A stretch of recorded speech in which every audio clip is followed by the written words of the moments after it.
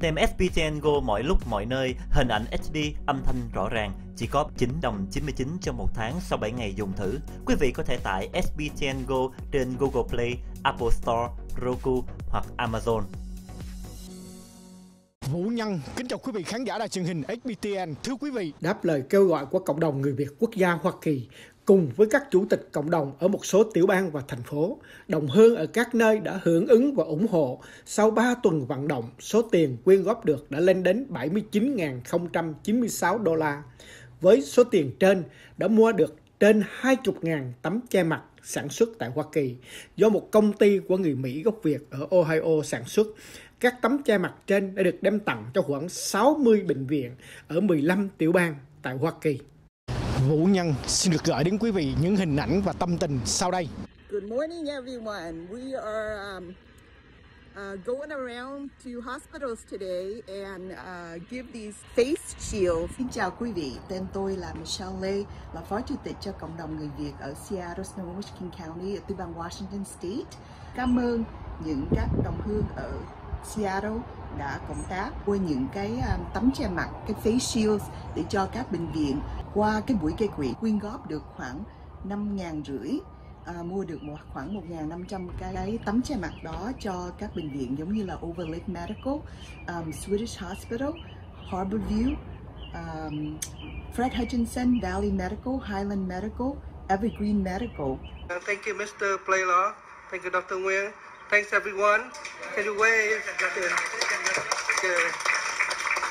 Tôi tên là Đỗ Minh, Chủ tịch Cộng đồng Người Việt Quốc gia Oklahoma City và vùng phụ cận. Chúng tôi vô cùng cảm động khi nhìn thấy những giọt nước mắt, sự tri ân của những nhân viên y tế đối với tình yêu thương của quý vị của cộng đồng người Việt dành cho họ. Ban chấp hành cộng đồng Oklahoma đã quyên góp được số tiền là 12.070 đô la. Chúng tôi đã chuyển số tiền đó về cho cộng đồng người Việt quốc gia Hoa Kỳ để mua medical facial mask trao tặng đến 6 bệnh viện tại địa phương gồm có OU Medical Center, Southwest Medical Center, San Antonio Hospital, Mercy Hospital, Alliance Health Regional Midwest Hospital, Oklahoma Spine Hospital. Thay mặt cho Ban chấp hành Cộng đồng Người Việt Quốc gia Oklahoma City, xin chân thành cảm tạ quý vị đồng hương đã sát cánh với cộng đồng trong công việc đầy ý nghĩa này. Với chức vụ Chủ tịch Cộng đồng, Đa Phượng, đại diện Hội đồng điều hành Cộng đồng Người Việt Quốc gia Arizona đã vận động đồng hương quyên góp được 2.930 đồng mua mặt nạ face shield. Xin cảm ơn quý vị đồng hương tại tiểu bang Arizona đã chung tay cùng nhau góp phần trong chương trình này. Hội đồng điều hành Cộng đồng Người Việt Quốc gia Arizona đã đại diện cộng đồng cho những vật tư bảo hộ y tế đến cho những bệnh viện như Dignity Health, Mayo Clinic, Honor Health, Phoenix Children Hospital và thành phố Glendale. Tên là Lý Thanh Phi Bảo.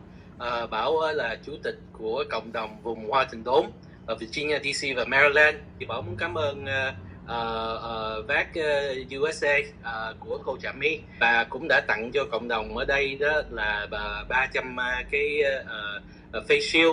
Thì uh, riêng Bảo thì uh, Bảo cũng bỏ tiền túi ra mua cỡ 1.200 cái à, rồi à, có một cái hội à, à, Sài Gòn gia đình ở đây cũng à, họ cũng đã raise money họ mua một ngàn cái. Thì hôm nay Bảo cũng đã tặng được à, uh, Western Hospital à, uh, 250 cái rồi tặng ở um, uh, Centera ngày mai đó thì sẽ đi tặng uh, của Fairfax Hospital uh, ở vùng này. Uh, và hôm nay Bảo cũng ghé mấy cái chỗ urgent care. Là gì Bảo cũng tới đó Bảo tặng một mớ face shield cho họ. Tôi tên là Lê Đình Quy, chủ tịch của cộng đồng người Việt miền Trung California. Vì sau khi liên lạc với các cái à, bệnh viện hoặc là cơ, cơ sở y tế thì bây giờ thì cái vấn đề mà an toàn cái tiêu chuẩn họ đòi rất là cao. Mà như chúng ta biết, ngay cả những cái mát mà ví dụ uh, chính quyền uh, của California hay là chính quyền của Chicago họ bỏ ra hàng trăm triệu hay là cả tỷ bạc họ vẫn mua mà chưa đạt được chất lượng.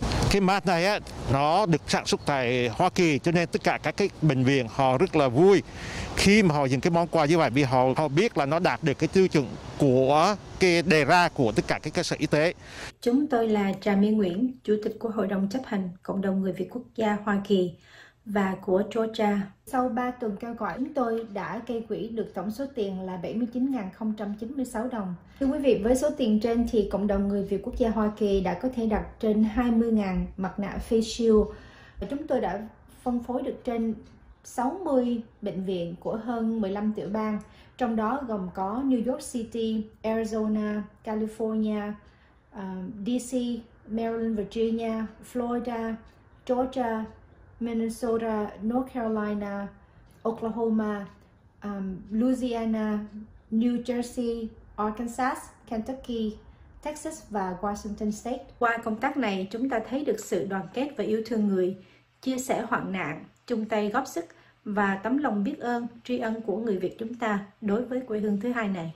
Và nhân cơ hội này, chúng tôi xin được gửi lời cảm ơn chân thành đến ông Đỗ Đắc Lắc, là giám đốc công ty Advanced Interior Solution tại Ohio và công ty ông chỉ lấy giá tiền vốn. Chúng tôi thay mặt cho cộng đồng người Việt quốc gia Hoa Kỳ gửi lời tri ân đến với tất cả các cộng đồng người Việt khắp nơi cũng như bà con đồng hương hải ngoại đã chung tay san sẻ trong công tác nhân ái này. Vũ Nhân, tường trình cho đài truyền hình SBTN. Tem SBTN Go mọi lúc mọi nơi, hình ảnh HD, âm thanh rõ ràng, chỉ có 9 đồng 99 trong một tháng sau 7 ngày dùng thử. Quý vị có thể tải SBTN Go trên Google Play, Apple Store, Roku hoặc Amazon.